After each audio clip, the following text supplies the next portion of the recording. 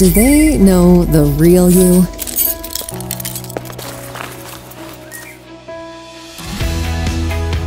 The you that's adventurous, fun,